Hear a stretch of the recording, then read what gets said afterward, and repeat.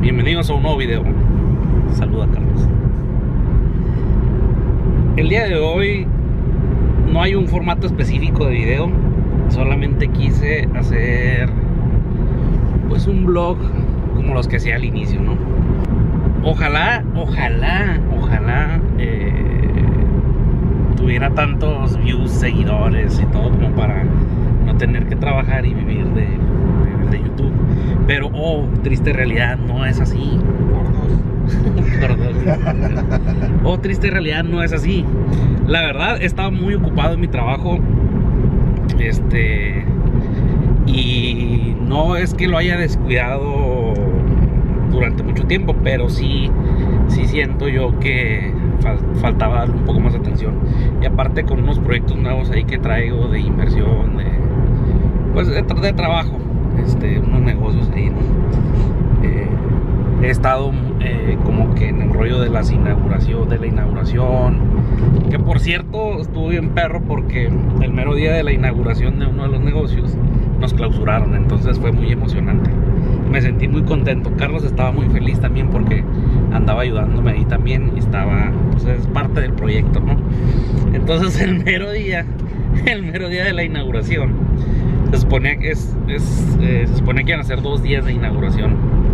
Este, y, el primer día, sí, el primer día, ya en la noche, nos fueron y nos clausuraron. Pero ya está abierto, al día siguiente nos, abrieron y, todo bien, ¿no? Yo siento, la neta, la neta, yo siento que alguien nos puso dedo. Eh, el negocio, el, concepto, pues es, un, es restaurante, tipo sport bar ahí, botanero. y, cerca de ahí hay uno muy famoso y no quiero decir su nombre para que no se agüiten los del Pockets, pero este se me hace muy raro que antes de la inauguración el lugar ya estaba abierto porque la verdad fue un traspaso. Eh, pe- Pero obviamente tenía otro concepto y tenía otra cocina y tenía. sea, era un poco diferente, ¿no? Entonces era un traspaso. Pero lo seguimos operando, este, pues para que se siguieran pagando las. Ya era autosustentable hasta ese momento, pues. Para que se siguieran pagando, pues, las rentas, eh, las nóminas de los trabajadores. Y jamás, o sea, no, no había pasado nada.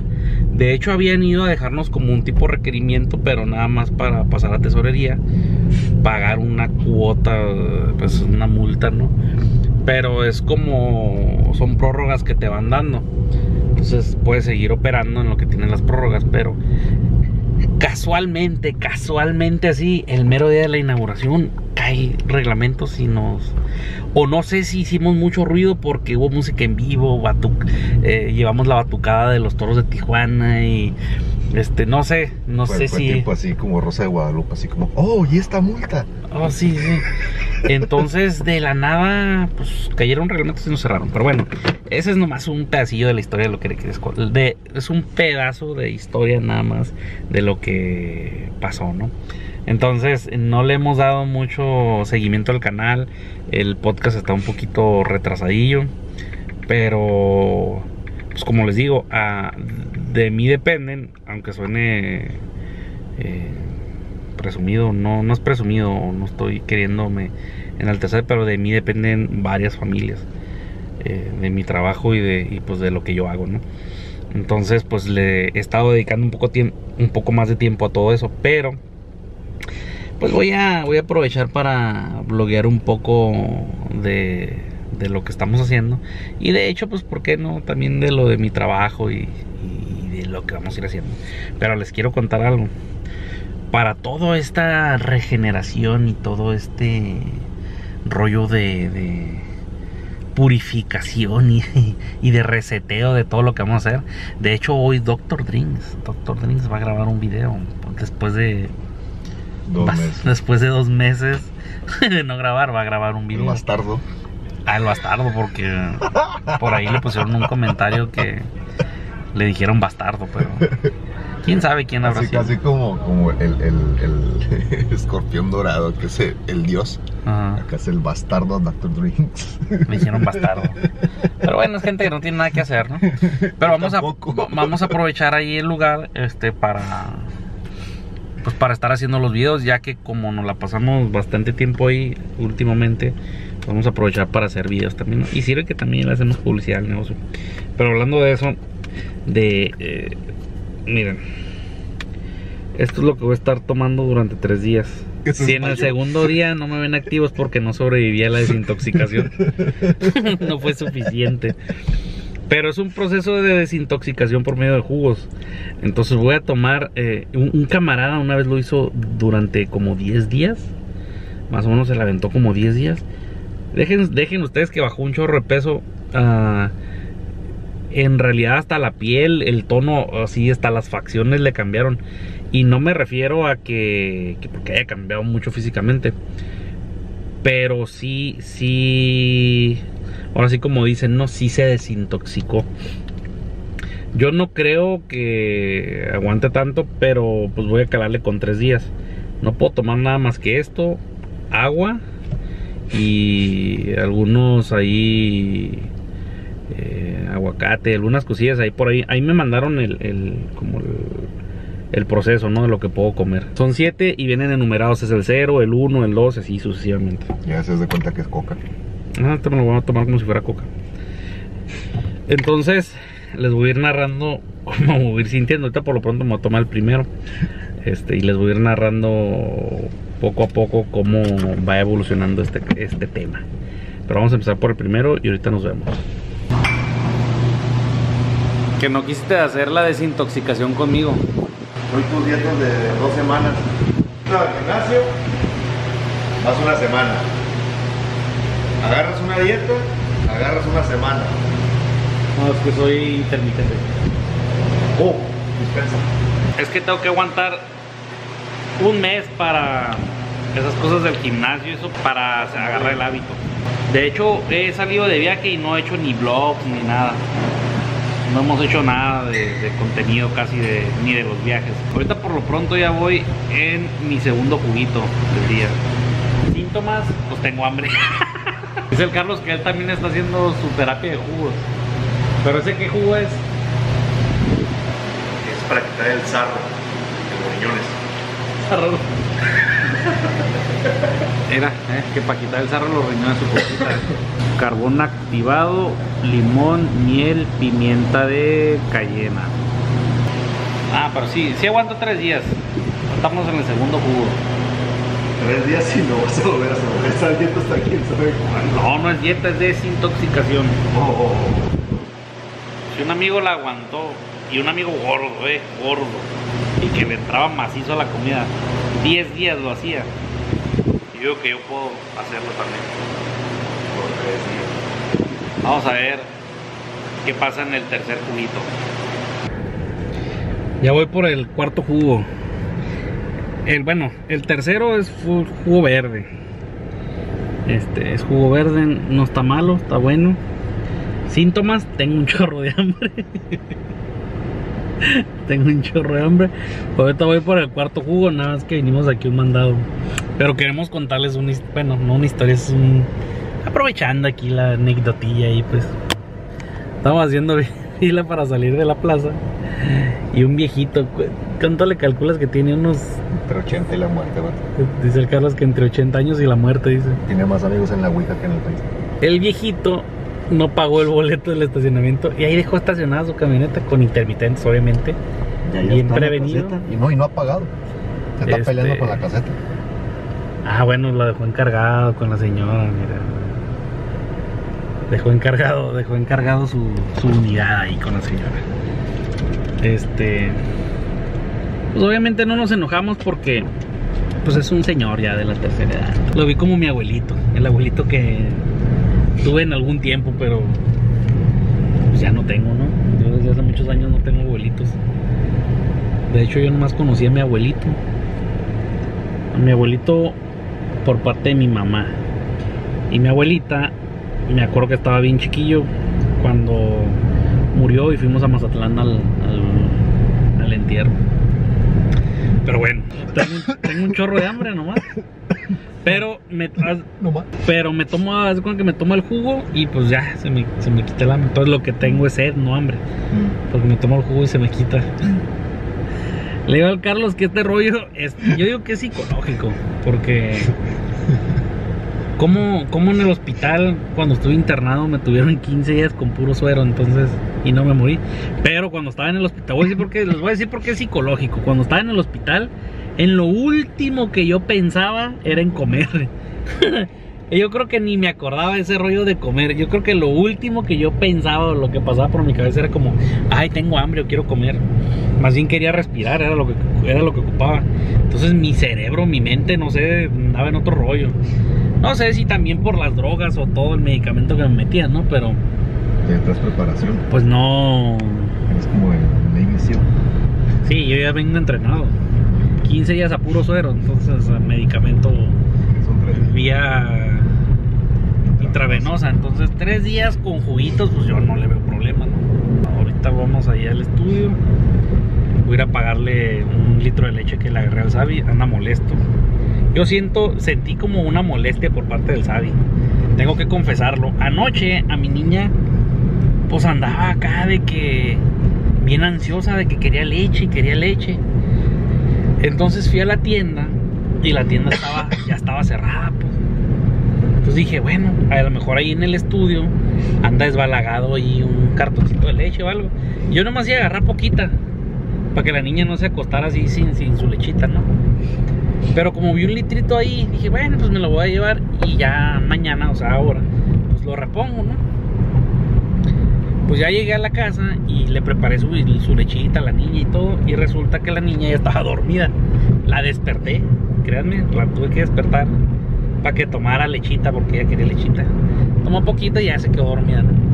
Pero como en la mañana nos salimos medio temprano y el propietario que resultó ser el Sabi, yo no sabía de quién era la leche, pero el propietario resultó ser el Sabi.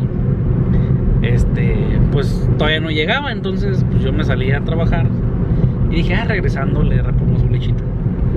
Pero cometí el grave error de no haberle avisado, entonces anduvo haciendo una investigación exhausta. exhausta.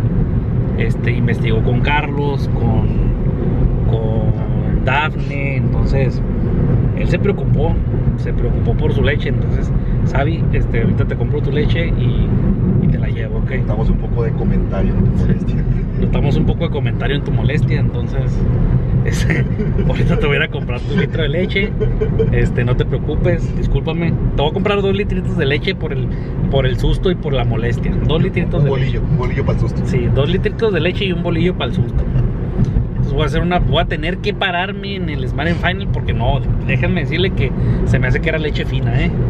Entonces no, no sé si Ah, no, no, no era de, de vaca de no, Jersey. no era de la Nutrileche, era creo que era leche fina, entonces voy a tener que conseguirla ahorita porque no vaya a ser que me renuncie. Pero ahorita, ahorita, ahorita seguimos con el procedimiento. Lo que uno se encuentra, ¿eh? Digo, cada quien hace la luchita como puede, Bad pero... boys, bad boys. Bad boys, bad boys. ¿Eh? Qué frontera, ni qué muro, ni qué nada. Mis compas ya van para el otro lado. Dicen por ahí, bien decían, bien le decían al Donald Trump. Si les hacen otro muro, van a ver la manera de brincarlo. Qué hombre araña ni qué nada. Los vatos subieron como si nada del muro. A ver cómo les va. Ya vinimos a comprarle su lechita al Sabi. A ver si le gusta la Santa Clara, ¿eh? porque Medio fino, muchacho. como es medio especial el Sabi, no sé si le vaya a gustar. Dos litritos para, para compensar el daño. Bueno, ya le compramos la lechita al pequeñín. Este, voy a tratar de no volver a comentar ese error porque se me enoja y luego no, no quiero que ande enojado. Qué show, raza. Aclarando el chismecito, porque estamos aquí editando el video. Yo nunca reclamé la leche. Yo nada más pregunté si alguien la había tomado. Y en cuanto supe quién fue, ahí dije, ah, ok, pues no hay problema. Pero sí, en ningún momento le reclamé a Eli. No me pongan como el malo, por favor. Nada más pregunté. Y hasta yo iba a poner la leche por mi propia mano. Pero él insistió en traerme una nueva. Bueno, raza, como pueden ver ahí en los mensajes, yo nunca le pedí que me la pagara. Hasta ahí dice en este de aquí. no hay problema, mañana yo traigo otro en mi casa. Nada más quería que me avisaran por cualquier cosa, de si se desaparece algo aquí en el estudio, luego a mí me meten en problemas. Pero bueno, el jefe quería contenido y ya le dimos contenido. Hasta aquí mi corte comercial. Lo, el único problema es que no había de la marca. Eso es lo que ando bien preocupado porque no había de la marca. De la misma marca la leche. Entonces, pues la compré. Su bolillito. El bolillo faltó Faltó el bolillito. Para el coraje. Este, le, le compré lechita Santa Clara. Santa Clara. Entonces, tengo entendido que es lechita buena. Entonces, este. Pero a ver si le gusta. No sé. Esa gente disfrutando de los a taquitos. venir. Disfrutando los taquitos allá. a. Pero yo firme, yo sigo firme en mi desintoxicación.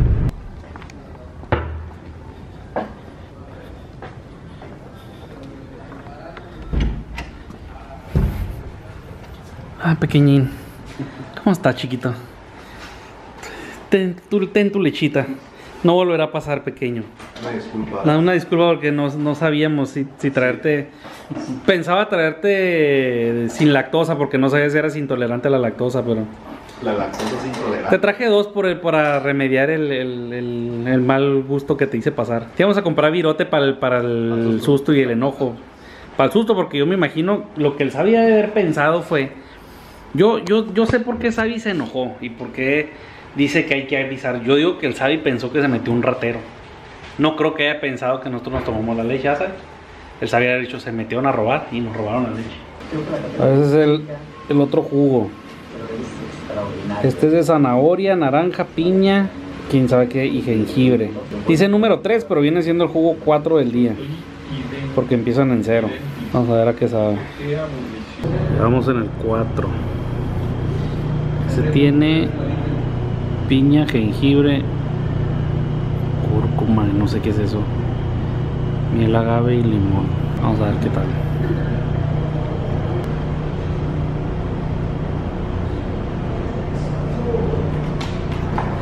Ah, Doctor Drinks, acabo de conocer a Doctor Drinks, no sabía quién era.